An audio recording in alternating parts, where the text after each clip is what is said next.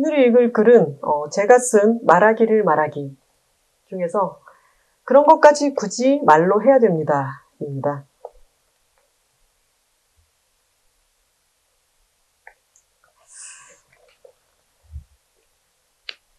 그런 것까지 굳이 말로 해야 됩니다. 김하나. 아니, 말을 하지 그랬어. 그런 거 꼭 말로 해야 돼? 한국 사람들이 수도 없이 나누는 대화다.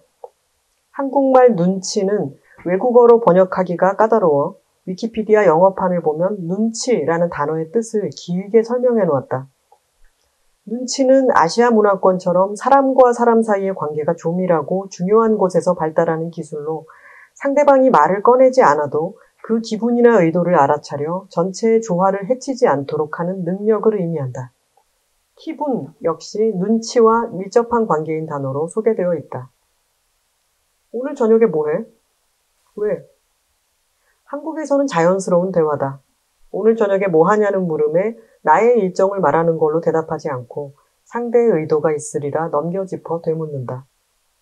상대가 말을 해도 고지곳대로 듣지 않고 그 이면에 깔린 의중을 미루어 짐작하는 것. 이것이 한국식 대화에서 눈치의 핵심이다. 나 또한 한국에서 나고 자랐으므로 다른 나라 사람들에 비해 눈치라는 기술을 많이 발전시켰을 것이다. 그러나 나는 이 기술이 때로 너무나 피곤하다. 언젠가 영어권에서는 상대가 말을 못 알아들으면 그 책임이 발화자에게 있기 때문에 상대가 알아들을 때까지 몇 번이고 정확히 설명해줄 의무가 있다는 말을 듣고는 무릎을 쳤다. 발화자의 책임과 의무. 그 말로 인해 마치 머릿속에 오랫동안 끼어있던 먹구름이 싹 거치는 것처럼 내가 그때까지 무척 비합리적이라고 느꼈던 점이 무엇인지 명료히 깨달았다. 한국말은 말하는 사람에게 책임이 있지 않고 듣는 사람에게 책임이 있다. 그리고 듣는 사람은 상대가 말하지 않는 것까지 들어야 한다. 게다가 이 책임은 주로 관계에서 지위가 낮은 사람에게만 지워진다. 그러니 내가 관계에서 높은 지위를 차지하면 나는 말하지 않아도 사람들이 눈치껏 나의 비위를 맞추게 된다. 물론 상대가 어려워서 차마 말하지 못하는 것, 또는 나를 위해 상대가 굳이 말하지 않는 것을 알아차리는 것은 높은 차원의 능력이다. 그것은 때때로 대화와 관계를 아름답고 풍성하게 하지만 그것만으로 이루어지는 대화나 관계는 인간계에서는 불가능하다. 한국인이 눈치라는 기술을 고도로 발전시켰다 하더라도 눈치에는 명백히 한계가 있다. 그렇지 않고서야 그런 걸 꼭 말로 해야 돼? 라는 말이 이렇게나 넘쳐나겠는가. 내가 뭘 원하는지 콕 집어 말하지 않아도 상대가 알아채 주길 바라는 마음도 어느 정도 선이 있지 갈등으로 번질 때까지 말하지 않으면 서로 간에 불필요한 감정만 소모될 뿐이다. 제발 말을 하자. 그런 것까지 굳이 말로 해야 한다. 인류의 대뇌 피질과 브로카 영역이 아깝지도 않은가. 말이라는 효율적으로 발달한 도구가 있는데 왜 말을 안 해놓고 상대가 알아주길 바라는가. 마치 정교한 손가락을 두고 지느러미나 발굽을 쓰려는 것과도 같다.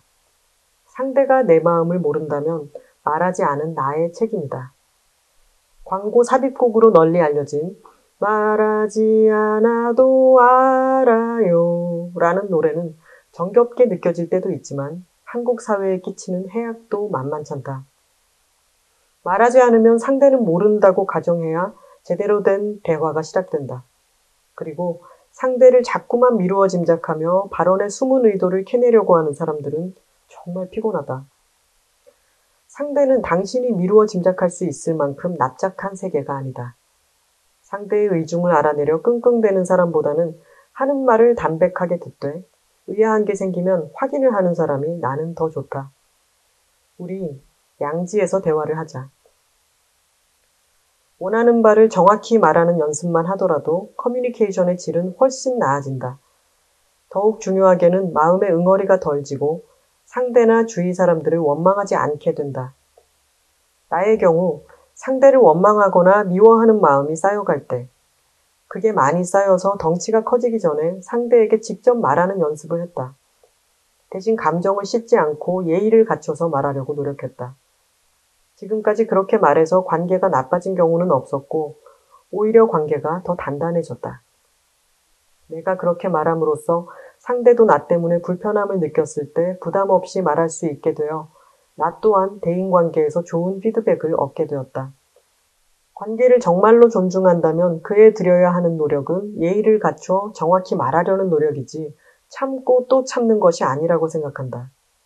내게 전자는 느슨해진 나사를 조이고 기름을 쳐서 관계가 오래가게끔 정비하는 것이고 후자는 쉽게 나을 수도 있었던 상처들을 덮고 덮어 곰게 하는 것이다.